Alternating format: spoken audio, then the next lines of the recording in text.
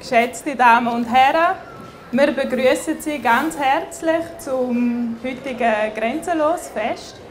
Wir freuen uns sehr, dass Sie so zahlreich erschienen sind. Vielleicht gerade ähm, am Anfang etwas zu meiner Person. Mein Name ist Violza Halimi, ich bin 21, ich komme von Buchs und ich habe albanische Wurzeln. Ist das eine spezielle Gruppe für heute oder gibt es die immer? Ähm, die gibt es jetzt sicher schon seit zehn Jahren, die Gruppe. Und die wird es auch weiterhin noch geben. Jetzt habe ich es als Trainerin genommen und nochmal eine. Und jetzt geht es immer weiter. Was ist es für eine Gruppe? Was macht ihr genau? Es ist eine albanische Volkstanzgruppe. Wir machen Volkstanz, machen, wie wir sie in Kosovo und in Albanien machen, machen wir sie hier in der Schweiz. Kannst du das noch, du mit dem Wallenstadter Dialekt? ja, sicher. aber eigentlich bist du in der Schweiz aufgewachsen, eigentlich bist du Schweizerin, ja. aber du pflegst gleich die Kultur, die pflegst du noch. Ja, ich will halt, dass Kultur immer noch vorhanden ist, dass man immer noch etwas von sich hat. Weil schlussendlich es ist für uns Heimat. Das ist ganz wichtig. Das andere, was wir heute hier sehen, ist, es hat ganz viele Kinder. Wir müssen wirklich schauen, dass wir auch politisch immer daran denken, dass der Kind gut geht. Der Kind muss jetzt gut gehen und der Kind muss zukünftig gut gehen, wenn sie ins Arbeitsleben äh, eintreten. Und äh, was ich auch noch sehr gut finde, ein sehr guter Begriff, wie das, das Stadtfest genannt worden ist, und zwar grenzenlos. Grenzenlos bedeutet nämlich, dass wir keine Barrieren haben, dass wir alle, alle äh, zueinander können schauen können, dass wir eine Gesellschaft sind, egal woher wir kommen, egal was wir glauben, egal welche Hautfarbe wir haben, wer wir lieben. Wir sind alle in dieser Schweiz, wir sind alle in dieser Stadt. Buchs jetzt heute da und äh, das ist die neue multikulturelle Schweiz und die muss man wertschätzen und da muss man ein sehr gutes Zusammenleben haben.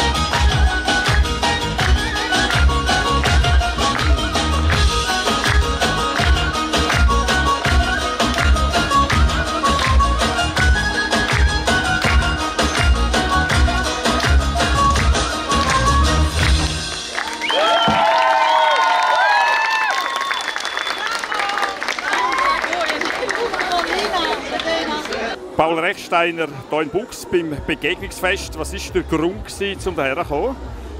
Es ist eine sehr positive Sache, die Begegnung äh, von vielen Kulturen, die in äh, Buchs im Werdenberg leben. Und äh, Buchs hat auch etwas zu bieten. Buchs ist ja nicht bloß die Energiestadt Nummer eins, die Gemeinde, die die beste Bilanz energetisch aufweist, sondern es geht auch mit dem Anlass äh, mit dem Begegnungstag, wo verschiedenste Kulturen, die hier leben, wohnen, äh, geht auch voran und ist im Kanton St. Gallen sicher bemerkenswert. Multikulti ist gescheitert, das ist so ein geflügeltes Wort von der Angela Merkel. Wie sehen Sie das in der Schweiz? Also wir haben ja auch viel Multikulti, nicht nur zu Buchs, natürlich auch ganz an anderen Orten. Wie sieht das aus, Multikulti in der Schweiz? Gut, die Schweiz ist ja ein Land, das schon vielfältig zusammengesetzt ist. Äh, von Grund auf sind ja verschiedene Kulturen, verschiedene Sprachen, die die Schweiz ausmachen. Und das hat sich nochmal ganz stark äh, verändert in den letzten paar Jahrzehnten und ist ein Teil vom Reichtum der Schweiz, dass das so ist. Äh, äh starke Integrationsleistung in der Wirtschaft, aber auch in der Gesellschaft. Da ist viel gelungen und äh, bedeutet einfach auch, dass man das muss äh, auch schätzen entsprechend. Äh, und Bux hat es da jetzt äh, doch auch gezeigt, dass man das auch mal zeigen äh, und die Begegnung auch leben. Eine letzte Frage, eine politische Frage. Ich war gerade letztens im Bundeshaus und da kommt es mir mal ein bisschen vor. Wir haben ja wirklich viel Multikulti. Wir haben viele eben auch mit dem ausländischen Pass. Die dürfen nicht stimmen und nicht wählen gehen. Während die in anderen Ländern, zum Beispiel daheim, könnten sie das. Ist das irgendetwas, was man politisch mal aufs Tapet bringt, damit man vielleicht auch mehr Wähleranteil hat? Oder wie sehen Sie das? Ja, Sie sprechen da den äh, kritischen Punkt an. Die Integrationsleistung von der Schweiz äh, wirtschaftlich ist enorm, auch gesellschaftlich ist ganz äh, groß, aber äh, politisch in dem Punkt sind wir hinten drin. Äh, es ist ja Ewigkeit in der Schweiz gegangen, bis äh, die Frauen dürfen stimmen bis 1971, bis dann endlich das Mannenvolk so war in der Schweiz und äh, auch bei uns sind halt leider in Bezug auf die Integration politisch äh, die Hürden für Einbürgerungen immer noch wahnsinnig hoch. Eigentlich ist es äh, ein äh, untragbarer Zustand, dass über ein Fünftel von der Bevölkerung äh, dass die kein Stimm- und Wahlrecht haben, obwohl ein großer Teil von denen ja schon ewig lang da leben. Auch viele von ihnen sind da in der Schweiz geboren, aufgewachsen, leben da und äh, äh, gehen da der Arbeit nach und zahlen Steuern. Also von dort her ist äh, die politische Mitsprache das von der Stunde und die Einbürgerung, sicher eine offene Einbürgerung auch ein Mittel dazu. Du, äh, Multikulti, du hast gesagt, du hast albanische Wurzeln, bist du als Buchs aufgewachsen. Als was fühlst du dich denn? Ein bisschen als beides. Also ich bin schon seit meiner Geburt zu Buchs, wohne schon immer da. Aber natürlich habe ich auch meine Familie in meiner Heimat, wo ich auch sehr stolz bin. Ähm, ich finde es immer schön, dass man kann sagen kann, man ist beides. Und hinter dir steht jetzt ein Griech, der Mr. Dallas, gell? Wir haben 88 Nationen hier. Ich finde es ein bisschen Schande, dass man nicht viel schneller eingebürgert werden kann, dass man beide Nationalität hat. Wie siehst du das? Das ist ein, ein schwieriges Thema, aber eine gute Frage. Ähm, ich selber bin im Jahr 2015 eingebürgert worden und es, es ist ein langes Verfahren, das stimmt. Und ich habe mich dort auch ein bisschen, ja, also ich habe halt das Gefühl gehabt, ich fühle mich hier daheim und ich bin hier geboren und also ich liebe Buchs und ich liebe die Schweiz und ich liebe, ähm, ich interessiere mich sehr für Politik und habe halt auch abstimmen und entscheiden, was in unserem Land passiert.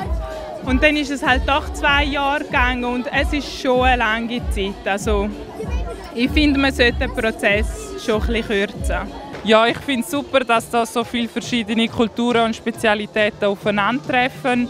Und ich finde es auch schön, dass, dass man da ganz viele verschiedene Essen, Spezialitäten kann probieren kann und auch ein bisschen in die Kultur hineinschauen kann. Ich finde es auch super, dass da so viele Kulturen zusammentreffen. Jetzt läuft da wieder mal etwas in Buchs. Und man kann auch zeigen, wie viel Facetten Buchs haben, wenn einfach alle Leute sich treffen und miteinander den Tag verbringen und ihre Kultur teilen. Und ich finde, das ist ein schönes Fest. Und ich bin froh, dass ich schon das dritte Mal dabei bin und ich kann immer noch positive Eindrücke sammeln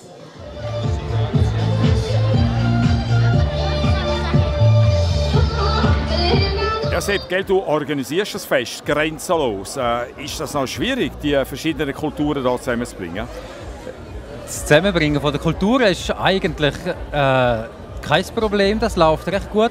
Was ein bisschen schwieriger ist, bis man dann alles koordiniert hat, äh, bis man das Fest wirklich im Laufen gebracht hat. Also es hat gleich noch die ein oder andere Sportschicht gegeben die letzten paar Wochen, aber äh, so ab gestern hat man dann gesehen, mal, die Vereine die arbeiten zusammen, die, die stellen das Fest auf bei und heute Morgen, wo die Leute kommen, wo die Leute hier umeinander laufen, wo es zu essen gibt, zu trinken gibt, ist das Fest am Laufen und dann sieht man, dass es eben funktioniert hat, dass alle miteinander zusammengearbeitet haben und das Fest dann können auf beistellen ja.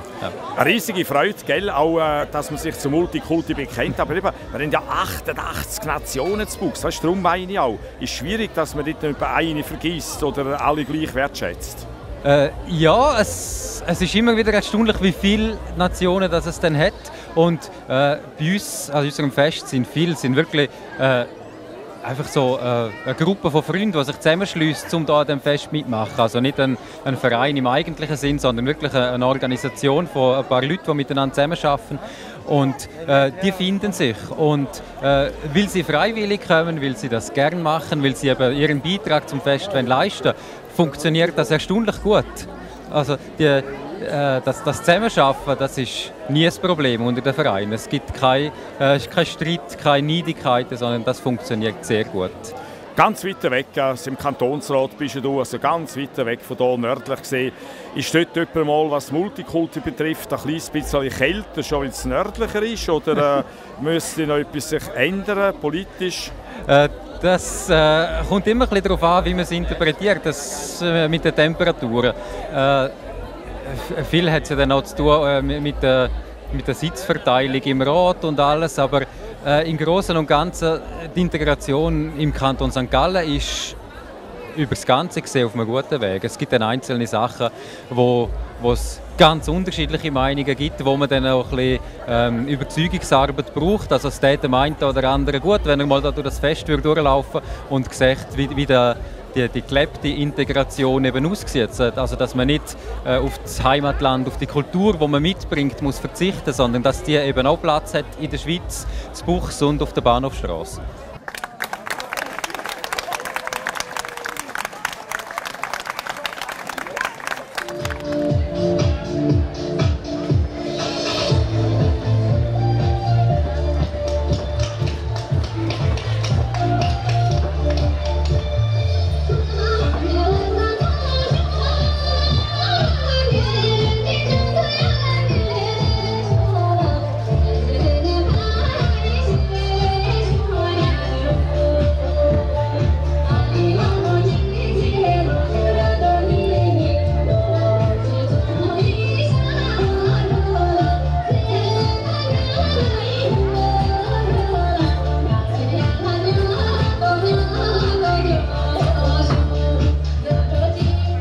40 Begegnungsfest ständig gut als Stadtpräsident. Was bedeutet das für dich? Ja, grundsätzlich mal freut es mich natürlich, dass so ein Anlass äh, vielleicht zu einer Tradition wird, was ich sehr hoffe. Viermal ist immerhin schon ein sehr guter Anfang. Und äh, was es echt bedeutet, ist natürlich das, was dahinter steckt, dass sich eben Menschen treffen, Menschen, die vielleicht zwischenzeitlich einmal Probleme haben miteinander äh, sagt das Schweizer Ausländer, Ausländer Schweizer, Ausländer gegeneinander.